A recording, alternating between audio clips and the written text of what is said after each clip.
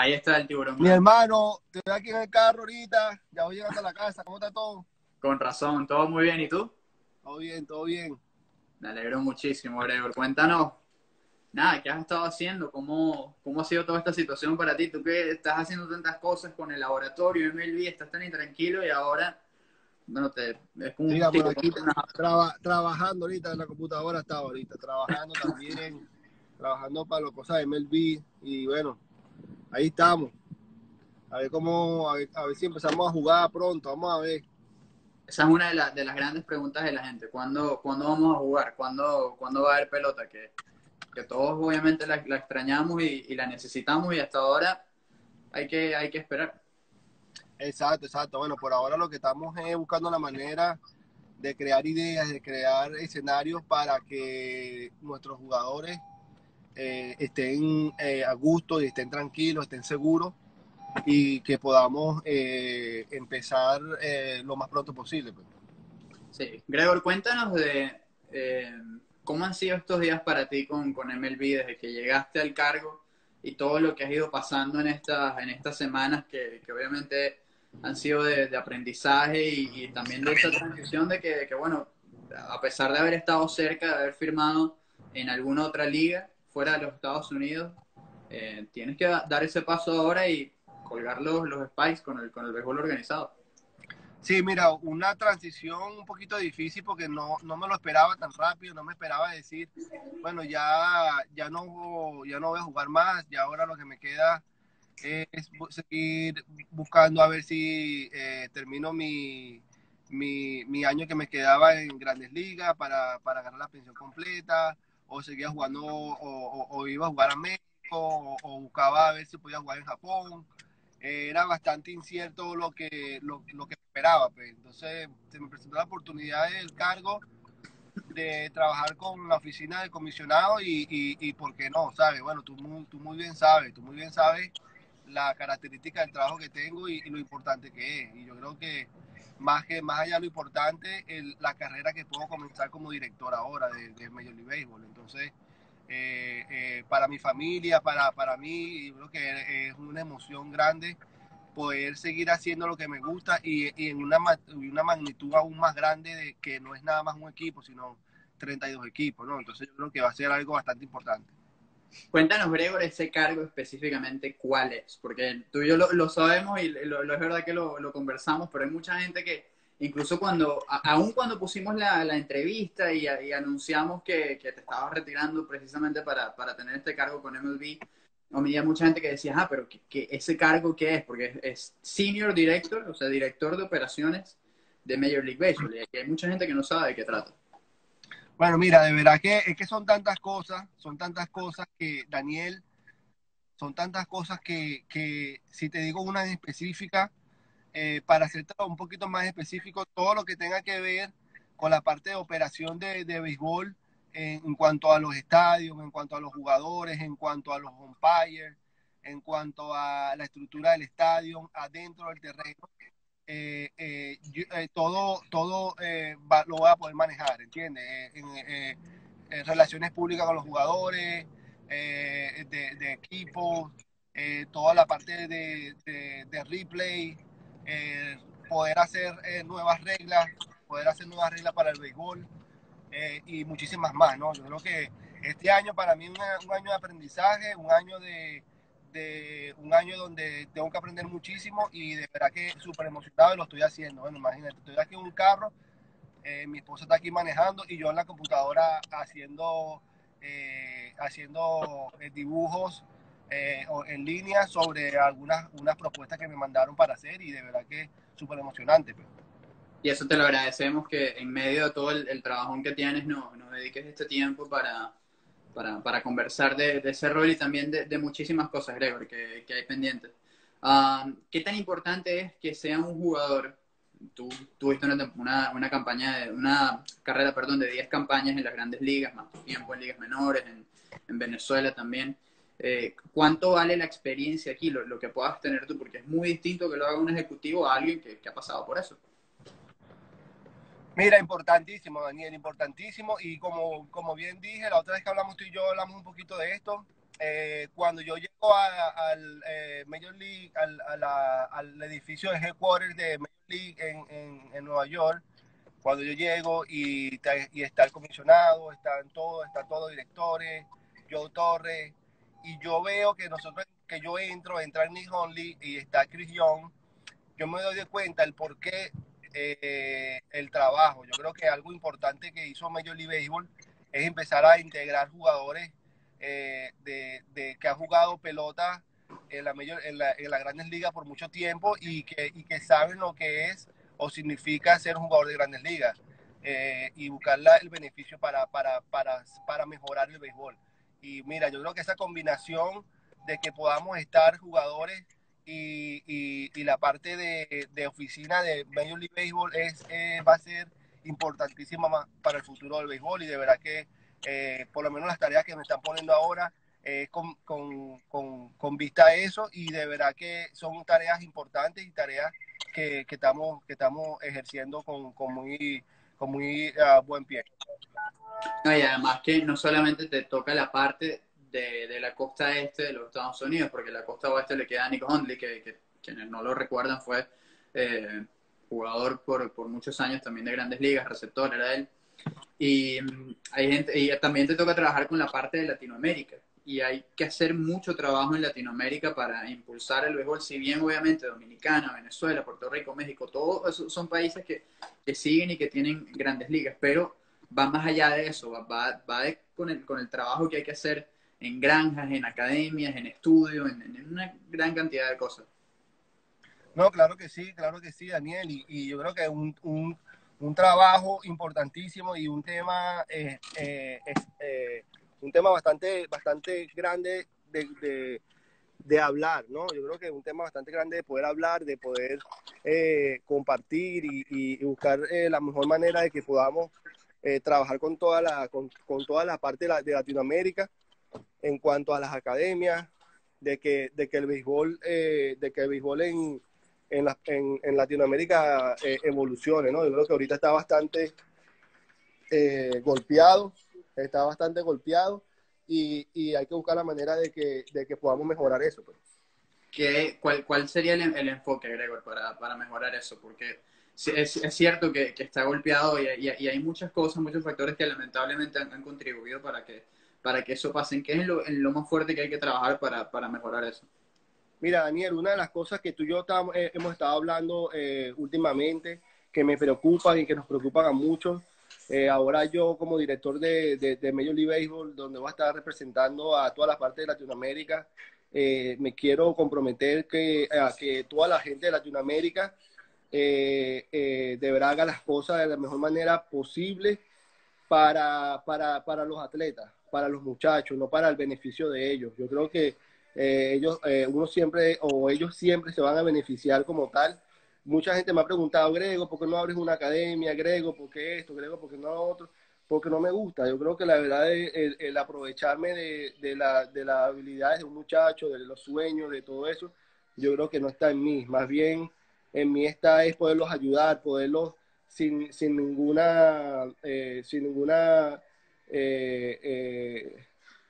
decisión mala o, sin ninguna eh, eh, ganas de, quitarle un centavo o, algo, aprovecharme, esa era la palabra que estaba buscando, aprovecharme, eh, de verdad que no, lo veo de, la mejor manera. Yo creo que muchas academias en Latinoamérica lo hacen, se aprovechan de la situación de los muchachos, se aprovechan de, las habilidades, de los que no saben, de sus nombres también y, es, y, es, delicado. De verdad que es muy importante que, podamos brindarles a nuestros muchachos latinos eh, educación, no sacarlos de sus escuelas, llevarlos juntos.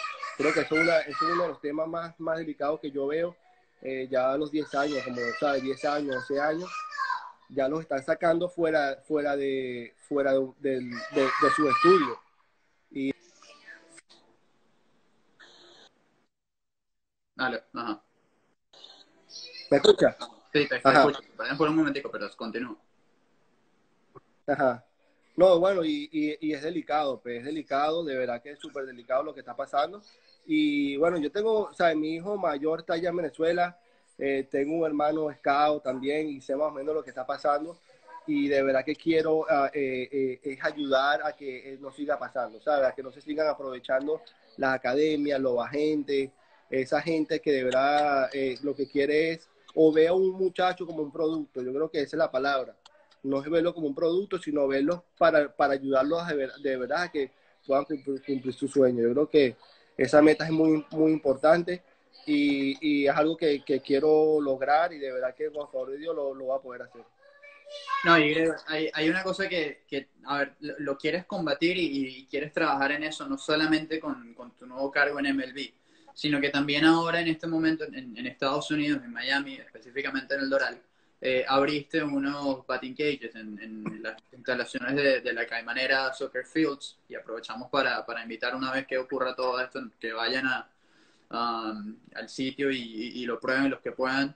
De todas maneras, en, la cuenta que, que, estamos usando para hablar contigo es precisamente la, cuenta en la que vas promocionando todo y que vean el trabajo. Y una cosa en la que tú haces énfasis es no solamente en preparar a los, a los jugadores de cierta manera de, de, forma profesional, porque así trabajaste tú en las grandes ligas y lo, cuando hemos ido a los, a, a, los cages hemos podido ver las máquinas que usas de gimnasio, los materiales, to, todos los implementos que estás usando que ayudan a los jugadores, sino que también vemos que es una prioridad los estudios, y tú lo mencionabas y es súper importante, y causa preocupación que en Venezuela, en Dominicana y en, en otras zonas del Caribe sacan a los, a los chamos 10, 11, 12 años, como tú mismo lo comentabas, y le cortan esa, esa, esa educación que, que, al final es súper importante, porque no todos llegan y hay vida después del béisbol.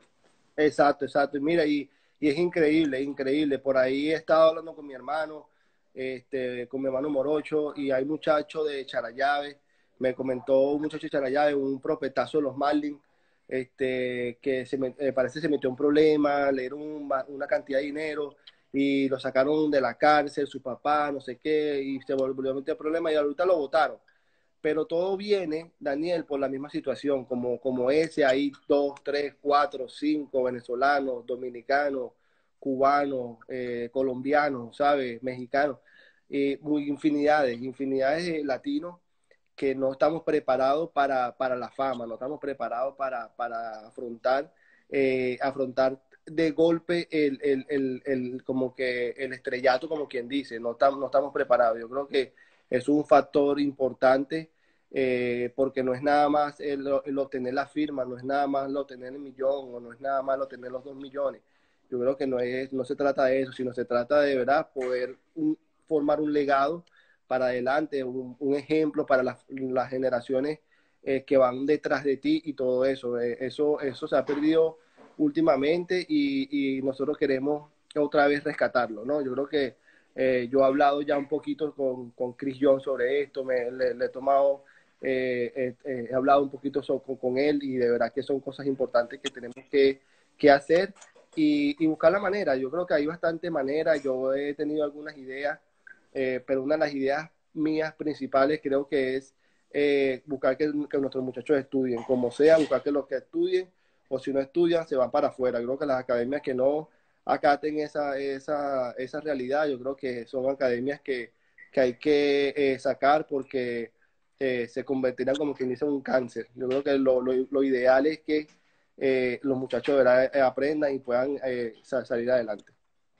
Sí, y, fundamental eso que, mencionas, Gregory. Y ahora, bueno, espero que con esta nueva función que tienes en MLB eso se pueda, se, pueda combatir y se pueda, bueno, es, un cáncer, ¿no? Como tú lo, lo, acabas de mencionar y hay que eh, erradicar todo eso porque eso, eso es lo único que nos va a hacer eh, progresar como, como peloteros y como ciudadanos también, como tú lo mencionas, no es que todo el mundo esté listo para, para la fama, sino que obviamente hay veces que no, no, vas, a, no vas a llegar, eh, porque el béisbol es así, en una academia en un equipo puedes tener cientos de, peloteros en, las ligas menores, pero van a ser muy, muy pocos y tú, tú, tú, lo has vivido. Y al final, después de eso, ¿qué es lo que ocurre?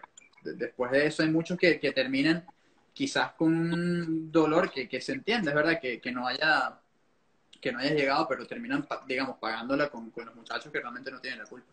Exacto, exacto, exacto. Yo creo que son, eh, bueno, son esos factores, esos factores que, que tenemos que buscar de, de, de mejorar Y eso está pasando aquí también, Daniel, eso está pasando aquí también en la Florida. Mira, algo que me llamó la atención, estuvimos tú y yo hablando de eso cuando, cuando presentaron el, clásico, el, clásico mundial que viene aquí a, la ciudad de Miami 2021, eh, que estábamos ahí, eh, estábamos comentando sobre eso. Yo te dije, es increíble como, como eh, el béisbol aquí en la Florida es, es para mí, yo jugado, bueno, yo he jugado en casi todos los estados, he jugado en todos los estados de Estados Unidos y creo que uno de los lugares que más se juega pelota es aquí, en la Florida, tenemos el campo eh, listo para, para jugar eh, los 365 días del año. Aquí no hace frío. No, hay problemas de... Exacto, eh, y de verdad que me, me, llama la atención la cantidad de grandes ligas tan poquitos que hay. Y yo digo, ¿por qué? ¿Sabes? Ah, y me he dado cuenta, tengo un chamo de 9 años y a la edad de los, a la edad de los 12 años, 12, 13, cuando ya van a Cooperstown, que cumplen el sueño, se quedan como en el limbo, como que ahora qué pasó. ¿entiendes? Y eso se debe a, lo mismo, se, debe a lo mismo que está pasando en Latinoamérica, que ven a los muchachos como un producto y no lo ven de la manera que de verdad desarrollarlos como, como atletas, desarrollarlos de cariño, desarrollarlos para, para su beneficio. Y yo creo que son cosas que, tenemos que mejorar y por eso también abrí, abrí eh, Gregor Blanco Lab. Cuéntanos de esa, del Gregor Blanco Lab y lo que, lo que has estado haciendo con, los muchachos y, y bueno, que digamos que lo, abriste en el off-season y te preparabas, te entrenabas ahí por si aparecía algo hasta que apareció lo de MLB, pero sigues impulsando ese, ese proyecto que, afortunadamente va también. Sí, bueno, mira, eh, eh, yo creo que nosotros ahí en Grego Blanco Lab queremos demostrarle a nuestros muchachos eh, algo que es importante, que es la confianza, confianza en sí mismo. Ahorita está pasando mucho que niños de 9 años, 8 años, eh, eh, prácticamente verbalmente son atacados eh, por, por sus coaches, que tú no sirves, que tú esto, que tú lo otro, que por qué te ponchaste, sus padres, ¿sabes? Y son, padres, cosas, y son cosas que, que, que, que, son, que son delicadas, ¿sabes? Porque es importante que, que a esa edad más bien ellos disfruten el jugar, disfruten el compartir, sus amistades, el béisbol, que disfruten aprender a fracasar. Yo creo que aprender a fracasar es lo más importante y nosotros ahí hablamos con ellos, le damos psicología eh, del día a día, les explicamos el fracaso, los ponches, les explicamos el por qué tienen que seguir adelante en la vida, les explico cosas más de más adelante, hablamos de, de, cada vez que hacen algo positivo, mira cómo, cómo, cómo tienen que seguirlo haciendo, ¿sabes? Esas cosas que son fundamentales para que el amor al béisbol y al deporte siempre lo lleven consigo, eh, sea o no lleguen a sea o no lleguen a, las metas cumplidas. Pero lo más importante es que ellos crezcan con, una, con, el deporte y que crezcan con confianza de que toda la vida lo pueden lograr. Yo creo que esa es la meta de nosotros este, y, de, y de, que puedan eh, eh, pasar sus límites, sus, eh, sus miedos, que puedan vencer sus miedos. Yo creo que un niño de 8 años le tiene miedo a la pelota, le tiene miedo a poncharse, le tiene miedo a fracasar y nosotros ahí estamos para ayudarlo. Creo que ayudarlo de la buena manera, ayudarlo a que tú sí puedes, sin gritarle, sin ofenderle, sin, sin, sin levantarle la voz, sino más bien dándole ánimo, dándole juegos, dándole eh, eh, eh, oportunidades y yo creo que son esas cosas las que nos hace diferente a todos. No, es una enseñanza no solamente para ellos, sino para los padres y los, otros entrenadores también, que es muy importante que, que, lo tengan ellos claro, porque además, ok, tú estás, es cierto y, y yo, yo, estoy de acuerdo con que es verdad, los niños se les tiene que, impulsar, se tiene que, promover que, tengan la disciplina, que quieran al juego, los estudios, todo lo demás, porque o firmas o en el peor de los casos terminas becado con una carrera universitaria, eh, que eso ya te resuelve gran parte de, la vida, ¿no? Pero hay quienes realmente no lo ven así y, le meten una presión extra al, muchacho y no sabemos si dos días, una semana, un año, dos, resulta que el muchacho no quiere jugar pelota, sino que lo que quiere es estudiar o lo que quiere es, no sé, a lo mejor ser bailarín o, basquetbolista o lo que sea. Exacto, exacto. Y, lo que lo, más importante que yo siempre digo es que, bueno, sus hijos hagan deporte. Creo que el deporte es una parte fundamental del ser humano y más a, pequeña edad, a pequeña edad. El deporte, vuelvo y te repito, te, enseña a enfrentarte con la vida cuando tú seas grande, ¿sabes? La vida, eh, nosotros los adultos sabemos que no es color de rosa, no es algo de que tú te levantas y una felicidad, ¿no? Una, es algo que constantemente tú, tienes que salir a buscar al progreso, a mejorar y, a veces les toca a los niños, les toca de golpe, ¿entiendes? Les toca de golpe enfrentar esa, esa vida. Creo que por medio del deporte tú se lo puedes ir enseñando poco a poco eh, un fracaso. Te ponchaste, esto te va a pasar, esto es normal, sigue adelante. Eh, eso, eso, eso le pasa a, cualquiera, sigue adelante. Lo que no te puedes es decaer, si te pones a llorar, si te pones bravo, ¿sabes? Esas cosas son las que tú tienes que eh, enseñarles a ellos para que ellos sobrepasen todo eso. Así es.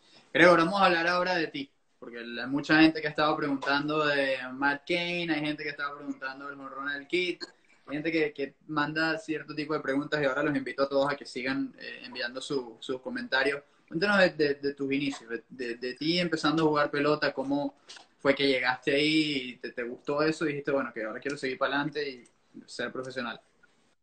Sí, bueno, mira, todo empieza desde, desde pequeñito. Yo soy un chamo de, de venezolano, de Cuba, de Los Valles del Tuy. Y bueno, mis padres, eh, me acuerdo yo que en ese entonces, que para descanse, eh, se había muerto Baudilio Díaz. Y estaba en la película Baudilio Díaz como saliendo y, y, nosotros nos mudamos para Cuba y la cosa de Baudilio Díaz. Y, y no sé, me inspiró eso Baudilio Díaz. Y yo dije, wow, algún día yo de verdad que me, me encanta la, su historia, me encanta él es el único jugador de, de Cuba, cueño, este, cueño eh, en ese entonces, el único jugador cueño, Grandes Ligas, me gustaría segundo, que no sé qué.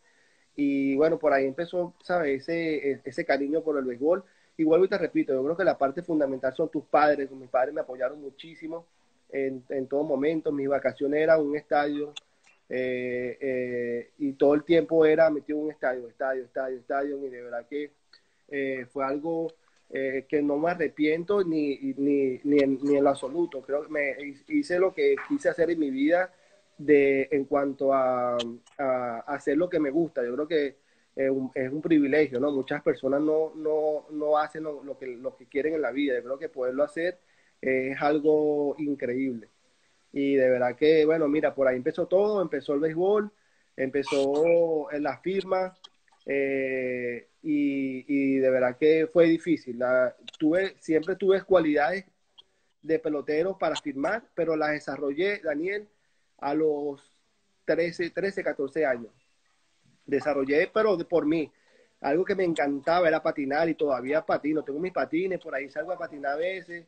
Eh, y, y, patinaba todo el día. Me metía a patinar todo el día a patinar, patinaba, patinaba. Y bueno, y empecé a desarrollar las habilidades mías de correr, mis fuerzas se empezaron a fortalecer y de repente, bueno, mira, pero desde la noche a la mañana ya estaba corriendo 6-3 en las 60 yardas y de verdad que fue algo que, que, que, me ayudó muchísimo y bueno, por ahí empezó mi carrera. No, y, además que eso fue quizás tu, tu gran arma en el, profesional en, los primeros años. Luego, no, solamente tenías buena defensa, el, bateo fue mejorando progresivamente, pero esa velocidad explosiva era la, una cosa que, te caracterizaba a ti muchísimo. Eh, ¿Cómo fue ese proceso para, para firmar? Mira, proceso mío para firmar, yo firmé con a Atlanta y me, acuerdo que venía yo de un, fin de semana de una playa con la familia y, y estaba todo, todo quemado y me, me dijeron, hey, el, el equipo de Atlanta mañana va a estar ahí en que va a ver a Darwin Moreno. Darwin Moreno en ese entonces era uno de los mejores pitchers venezolanos eh, le iban a dar creo que era un millón de dólares, Era uno de los mejores pitchers venezolanos eh, y sí, sí, iba a ser una, una superestrella. Y Atlanta lo quería ir a ver y fue para Cuba a verlo.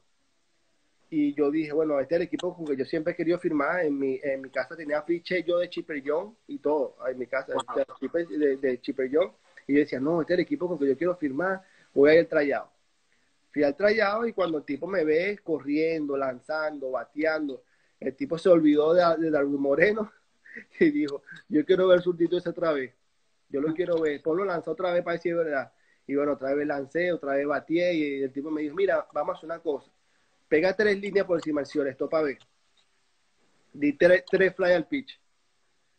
y, me dice, y me dice, no, no, no, batea normal y di tres líneas por encima, por encima entonces, bueno, por ahí empezó, después eh, empezamos a entrenar, yo tenía creo que 15 años cuando eso, y después me dijo, no, mira, yo nosotros te queremos firmar, vamos a entrenar, te vamos a fortalecer un poquito más, eh, me, trajeron a Orlando, vine a Orlando, eh, y bueno, mira, llegó la hora de, de, la firma, llegó la hora de la firma, firmé con los Bravos de Atlanta, y mi primera temporada fue en, en, en San Francisco Macorís. Me acuerdo yo clarito, Daniel, que me dijeron, no, que eso es bonito, que eso es campo de golf, que vas a tener una piscina, que no sé qué. Yo dije, un desastre. Pero bueno, está bien, son cosas que uno tiene que pasar como jugador. Y yo dije, bueno, mira, yo llego allá y veo, ¿sabes? Había eh, como, no sé, éramos como 200 jugadores, no me acuerdo, éramos un poco, había un poco dominicanos y bastante venezolanos, todos vivíamos juntos.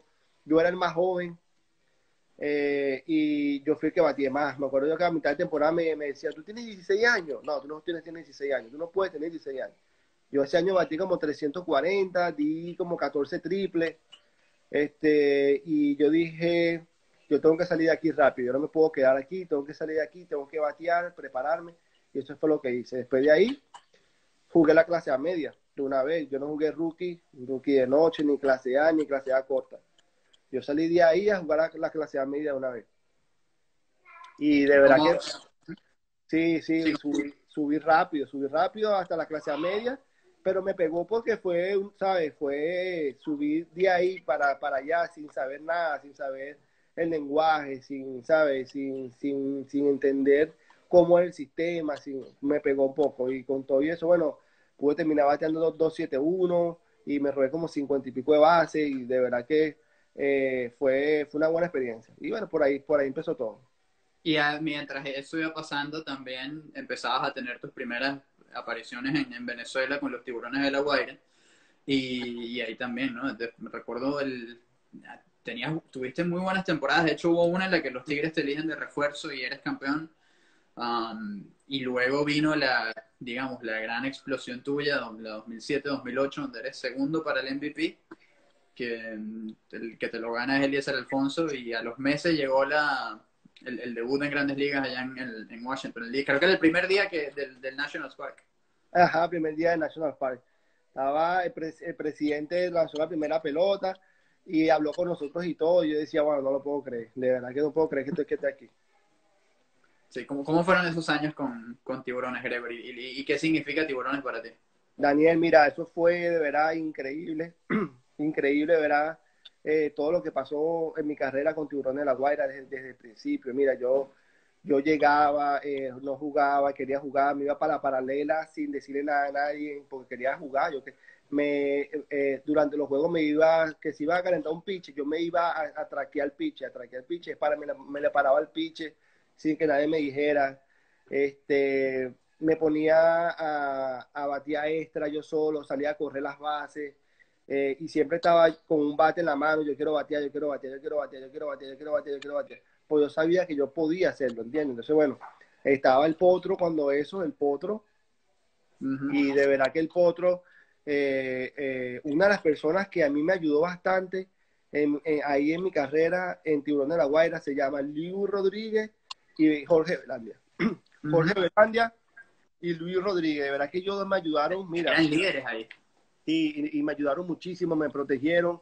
Ellos sabían que era que yo era un muchacho que lo que quería era trabajar, quería y tenía una habilidad. Yo creo que eh, en el caso del Potro tuve bastante eh, eh, problemas con él, ¿sabes? Me imagino que era porque él pensaba que yo le iba a quitar un trabajo o, yo, era más joven o cosas así. Pero la idea mía nunca fue esa, la idea era mía era que me dieran un chance para poder demostrar lo que yo quería hacer y de verdad que eh, eh, gracias a Dios, como tú mismo dices, se me dio la oportunidad ese 2000-2007 y después de ahí eh, empezó todo. Y bueno, no es por nada, pero después te quedaste tú por muchos años en La Guaira, muchos años en el profesional y e hiciste todo lo que, lo que hiciste, ¿no? Ya, con eso se... Sí, sí. te quería, la gente pregunta mucho, fíjate que hay alguien que acaba de decir por aquí que en La Guaira no creían en ti, que el de eres realmente más, más caraquista y todo lo demás, obviamente por los dos años que, que lo reforzaste, eh, yo creo que es todo lo contrario. No, no, sí, la gente, bueno, no tienen idea. De verdad que yo, no, yo, eh, yo soy un jugador de ética, de ética profesional, eh, mi, mi, camisa o mi, o mi corazón siempre será Tiburón de la Guaira. De verdad que Tiburón de la Guaira, y tú y yo lo hemos hablado, Daniel.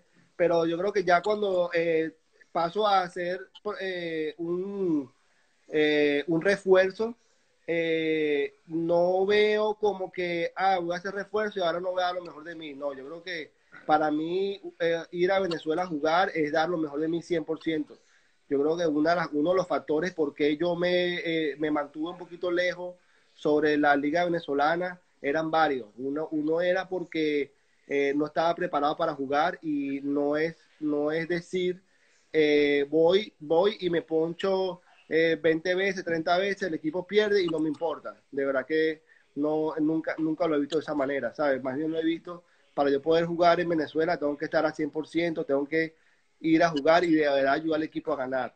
Eh, no ser un estorbo, no, no nada más ir porque soy yo y decir, ah, bueno, no, yo voy a jugar y, y, que se vaya eh, tiburones al, al, al, fondo.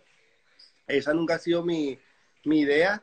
Este, y, y, bueno, la otra razón es porque ir tarde, ir tarde y poderle quitar el trabajo a un muchacho que, que lo ha hecho desde el principio de temporada y decir, eh, bueno, mira, ahora llego yo, quítate y, de verdad eh, eh, me, toca mi turno, de verdad que tampoco lo, voy a hacer. Lo voy a hacer porque, vuelvo y te repito, soy una persona bastante de principios, de, de, poder, de siempre querer hacer lo correcto y de, de siempre apreciar a los demás, apreciar la carrera de los demás y lo que se ha hecho también en, durante la temporada. En el caso de eh, Daza, en el caso de Daza. Daza, cuando yo jugué hace dos años, eh, me acuerdo que me habían dicho, mira, que Daza, que, que, si él se quiere, que, que, él que él dice que si se quiere mover para el desfile, él se mueve.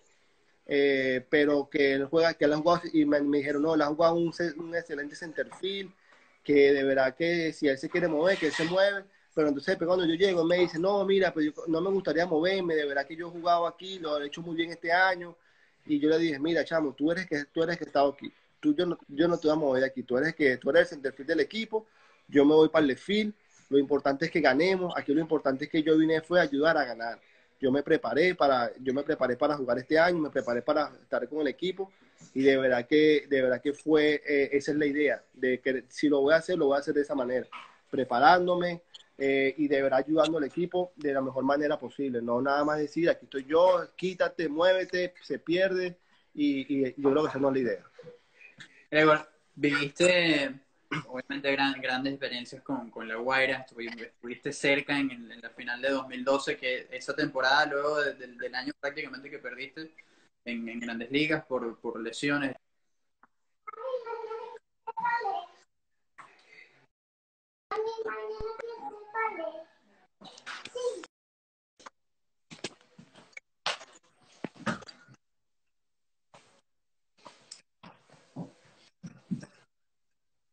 ¿Me escucha?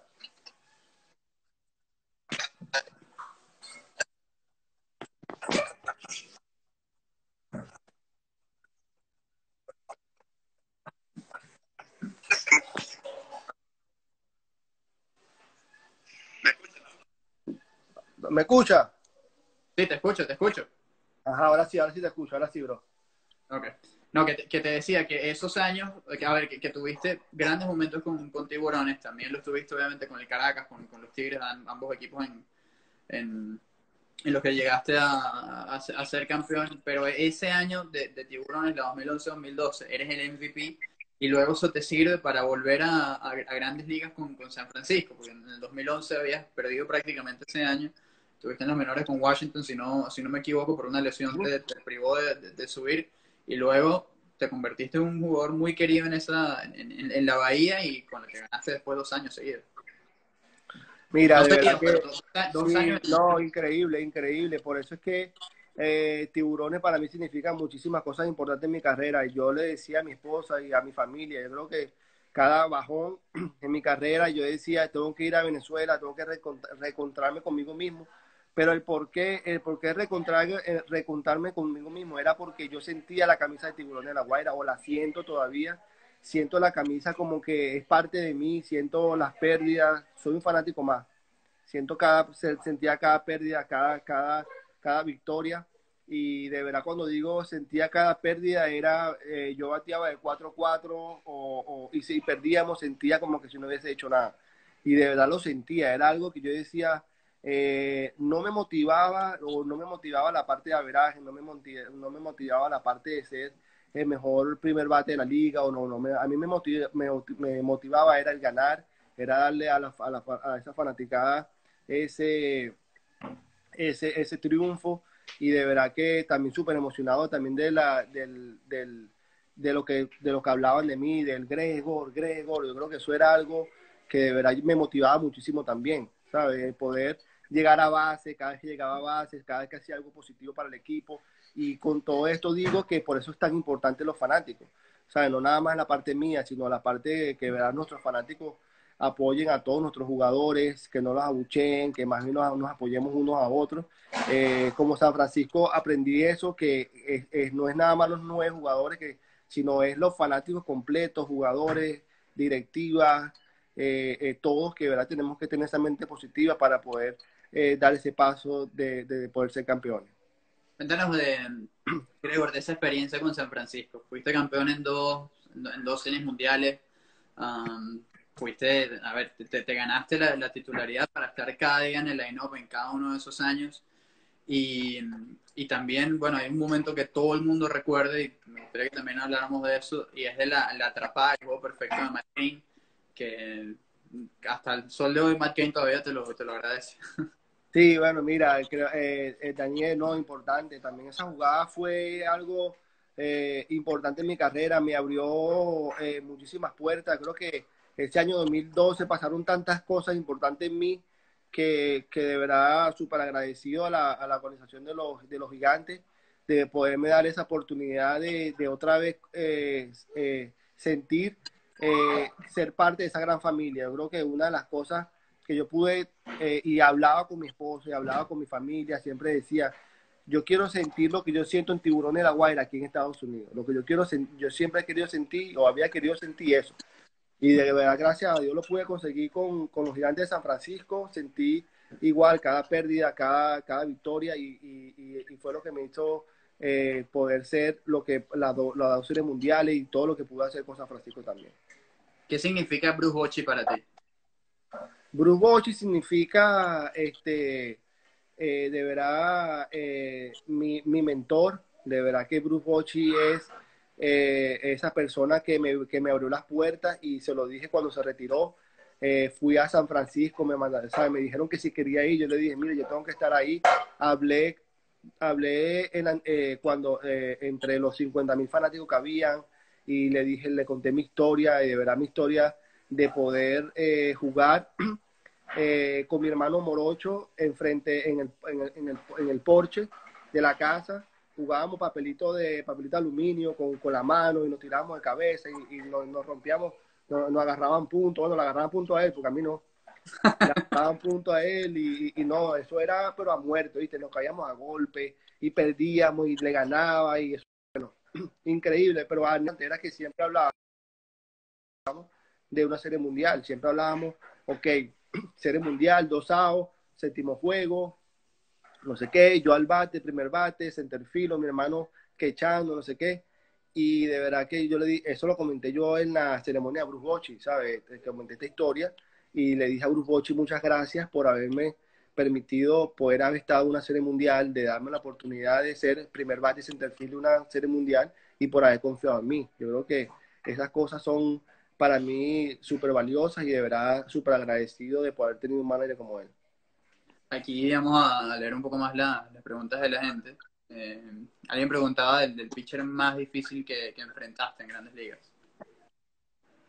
Pitcher más difícil que, que enfrenté en grandes ligas, eh, Tim Lincecum, cuando estaba, yo estaba con Atlanta eh, y también Kershaw, pero la, la, anécdota de Kershaw es cómica. Si ustedes ven, eh, creo que hay una que eh, pongan curvas, creo que no sé, no, sé si va a salir así, pero curva, la mejor es curva de Kershaw.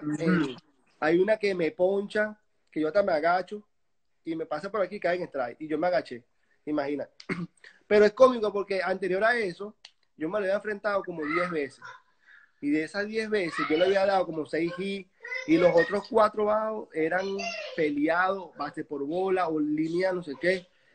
Y un día me llega así, tú y yo estamos bateando, y me llega por atrás, me dice Gregor, y yo, y yo, venga, mira, Kelcha, yo en mi mente. Y me dice, y yo le digo, ¿qué pasó? ¿Cómo está todo? Y me dice, eh, hey, tú eres un lado difícil hacer, ¿viste? Eres un lado bien difícil hacer, de verdad que uno de los mejores zurdos que me, que, que me he enfrentado, de verdad que súper, súper, eh, eh, eres un buen bateador. Y yo le digo, ah, gracias. Y le conté a los muchachos, mira, este tipo, que yo soy un buen bateador, que que no sé qué, que esto. Pero bueno, después de ahí, no le toqué más la pelota. o sea, que lo, que hizo fue jugar contigo. yo creo, ¿viste? Pero después de ahí, no. no pero, bueno, también estamos. Pero también, pero también, Daniel también me empezó a pichar diferente. Ya no, me, ya no me tiraba igual, no me tiraba la misma retica afuera o el corecito afuera, no, ya me, ya me empezó a tirar curva, primer picheo, reta para la cabeza, el, el aire para afuera, reta para adentro, core para afuera, me empezó, Chávez, y de verdad que ya era eh, más difícil. Pues. Mencionaste temprano a Chipper Jones y decías que tenías en, tu cuarto fiches de, de, Chipper. Yo, de hecho, recordaba hace poco que mi, mi, primer bolso del colegio era de Chipper Jones y, y era mi, mi, jugador favorito. Y firmas con Atlanta, juegas con, con Chipper en, en sus últimos años y hay una anécdota de algo que él te dice a ti. ¿Qué significó para ti jugar con Chipper y además que él haya sido, digamos, una especie de mentor para ti también? Sí, bueno, mira, igual, Chipper, me acuerdo yo que estábamos en el Marlin Park y era un juego, eh, era un juego de temporada y me dice, eh, estábamos, ya iba a empezar el juego, estaba cantando el himno, nosotros estábamos abajo, en como en la, en, la, en la esquinita ahí, escuchando el himno y yo estoy al lado de él. Termina el himno y me dice, yo estoy primer bate ese día, y me dice, hey, Gregor, eh, tú eres la bujía de nuestro equipo. Si tú vas, nosotros vamos. Tú eres la bujía, vamos. Y yo me quedé así como que, ah, ok. Chipper John me dijo que soy la bujía del equipo. Yo dije, vamos, sí va. Ese día batí como de 5-4, de 4-3, de triple, yo no sé, hice, hice desastre y de verdad que me acuerdo de eso porque eh, son, son cosas tan importantes cuando una persona así eh, te puede hablar, te puede animar, te puede eh, cambiar la vida tan, tan, tan rápido y, o te puede ayudar, que vuelvo y te repito, son cosas que yo he aprendido tanto, la parte fundamental de, de, poder dar energías positivas a, a los atletas, de poder hablar de cosas interesantes de que puedan de verdad darse cuenta que pueden todo en la vida. Yo creo que estas cosas te marcan de, por vida. Gregor, eh, para ir cerrando aquí, te, obviamente habría que preguntarte. Eh, los caraquistas han estado, han preguntado, bueno, ¿será que lo estás dando para el final o qué sé yo? Sí, lo estamos dando para, para el final. Eh, obviamente hay que hablar de ese, de ese año, de ese round robin. Bueno, no fue un round robin, porque el round robin fue con la Guaira, sino la final Caracas Magallanes, has estado en series mundiales y has estado en Caracas Magallanes. ¿Cuál ha sido la, la, diferencia que tú has visto o, en qué se compara una con, otra? Y, bueno, por supuesto hay que hablar de, del jonrón al kit y yo quisiera que me contaras de lo que pasó, algo que, haya pasado antes quizás en ese juego, porque recuerdo que Orber dijo algo como que tú le habías dicho que ibas a dar jonrón. Sí, claro, mira, eh, eso fue eh, una rivalidad Caracas Caracas, la, Caracas Magallanes es, es increíble. Creo que para nosotros los venezolanos es lo más grande que podemos vivir. Siempre lo he dicho, eh, un, nosotros como venezolanos tenemos que vivir una experiencia como es Caracas, Caracas Magallanes. Ahora, algo que mucha gente caraquista sabe, mucha gente caraquista sabe, y yo sé que lo sabe, eh, un juego Caracas-La Guaira, yo creo que, pero siendo Club La Guaira, la Guaira, es mucho más interesante que un Caracas Magallanes, eso sí lo sé yo. Con la Zamba y Atilano, yo estoy seguro. Caracas La Guaira es mucho más emocionante que Caracas Magallanes. Yo estuve en Caracas Magallanes. Yo fui, yo estuve en Caracas Magallanes y de verdad que yo dije, bueno, que hace falta algo. Yo decía que hace falta aquí, hace falta la samba. Yo decía, ah, la samba lo que hace falta, eso es lo que hace falta. Este, pero de verdad que es algo, una experiencia increíble porque paraliza el país. Yo creo que cada vez que terminaba un partido, yo tenía, sin mentirte, Daniel, 300 mensajes. ¿Sabes? Tenía mensajes de todo el mundo, este, de la televisión, de mis amistades, familia, gente que tenía rato sin saber. Y en la, y Guaira no pasa eso. Pero sí, sí, como te dije, que un Caracas Magallanes tiene muchísima más afición, paraliza más el mundo, pero un Caracas La Guaira es, es increíble, de verdad que ahora, compararlo con una serie mundial, se puede comparar, pero en cuanto a ciudad, claro, una serie mundial es, es una, algo mucho más global. En cuanto a ciudad, de que el, el, el, el, motivo de tú estar ahí en ese, en ese estadio, eh, el poco de gente, la gente eh, haciendo bulla, eh, se compara con eso, pero la magnitud de una serie mundial es muchísimo más grande mundialmente. Yo me acuerdo que las entrevistas de nosotros, terminando las series mundiales, eran en, en japonés, en francés, en, En, infinidades de idiomas y claro, con traductor. Pero eh, eso son cosas que de verdad te, te marcan y tú dices, wow, esto de verdad es algo grande. Sí, ahora obviamente hay que hablar de, del, del jonrón contra, contra el Kid. Y, el jonrón de Francisco, claro, el jonrón de Francisco viene porque yo le toco la bola a Mujica en el séptimo. Y, y claro, Mujica es un piche que tira un buen core y yo decía, bueno, la única manera que puedo, me puedo envasar aquí en este momento, estamos perdiendo por una, si yo le toco la pelota por primera base, yo sé que me va a tirar un, core hacia adentro, tocar la pelota. Yo le toco la pelota, pero la, la grama está alta y, y, se muere la pelota. Me hace AO y me hace así como que, ah, te dice, batea, que no sé qué. Entonces, bueno, batea, batea. Eso de batea, eh, eh, eh, Guzmán me dice, Grego, mira lo que te hizo Mujica por atrás, que tú no bateas, que no sé qué. Yo dije, ah, yo no bateo. Guzmán empezó la cizaña. Sí, yo no bateo. Ya va, le dice, ya va. Espérate que yo en el noveno inning me va a tocar un turno. Entonces, bueno, noveno inning me tocó el turno contra Francisco. Y claro, el turno contra Francisco y éramos tiburones los dos. Yo dije, esta, esta pelea tengo que ganarla yo. Porque imagínate, chalequeo los muchachos eh, cuando el año que viene, verga, te ganó Francisco, que no sé qué, qué tal. Yo dije, no, yo tengo que ganarlo yo. Entonces, claro, habían dosado y, y Gregor Repetí me dice, Gregor, envásate que yo te traigo. Y yo le dije, no, no, no, yo voy a dar un ron. Tranquilo que yo voy a dar un ron. Y bueno, yo creo que, Daniel, ese es el turno que yo más me preparado o me he enfocado en mi carrera, te lo juro, por mi, por mi, por mi, por mi mamá, que está en el cielo, yo creo que ese turno, eh, yo vi la pelota como si fuera un melón. Y Francisco en ese entonces era, ¿sabes? Tiraba 96 millas, ¿sabes? Era uno era el mejor cerrador de las grandes ligas. Y de verdad que fue algo increíble poderle dar ese honrón a él, pues, ¿sabes? Eh, dos, dos, dos tiburones enfrentándose en una final. Yo creo que fue una experiencia eh, bastante bonita y, y también eh, importante para Venezuela.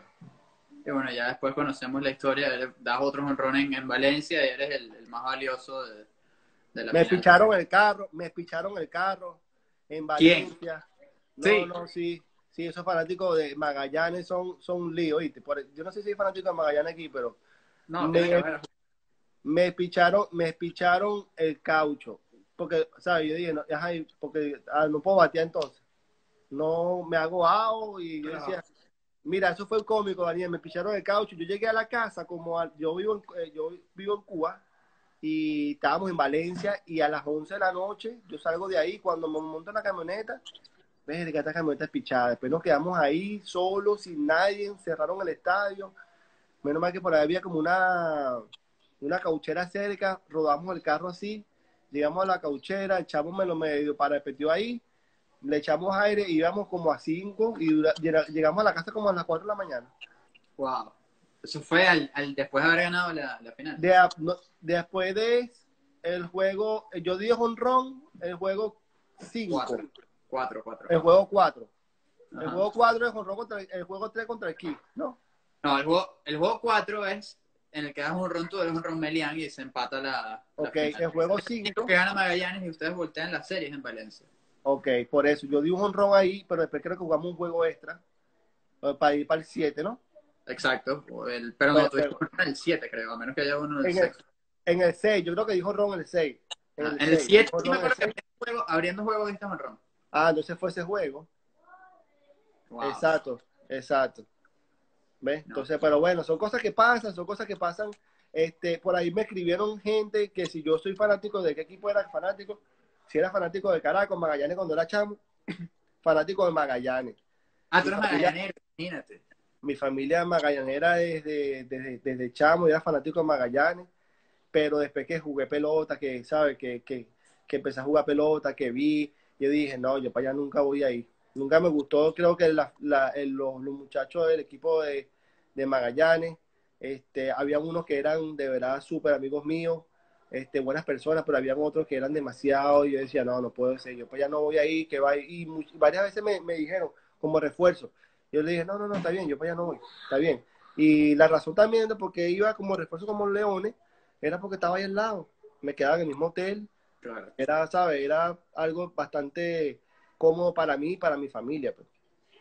No, sí que estabas en, la- en la misma ciudad y bueno, también en el mismo estadio. Lo que tenías que hacer era cambiarte de, de. Sí, exacto, exacto, exacto. Exacto. Sí. Bueno, Gregor, eh, te quería agradecer por, por dedicarnos este, este tiempo a- al extra base. Eh, invitar a que sigan a, a tus redes, arroba Gregor Blanco Lab, que es donde estás haciendo la, el- la entrevista con, con nosotros, que sigan ese proyecto y que estén pendientes porque Que va obviamente hay grande. difusión a, Que a va todos para grande, que va para con grande. MLB, el Cage también. No, claro que sí, este proyecto va para grande y bueno, para adelante. Yo creo que la parte de la, de la, de la MLB, como te estaba diciendo, pues eso hay que seguirlo, seguirlo hablando. Mira, una cosa que es verdad, que gracias a Gregory que lo recuerda aquí, la apuesta con Mima, que creo que es tu esposa, y hay una apuesta Sí, con con eso. ¿Cuál era?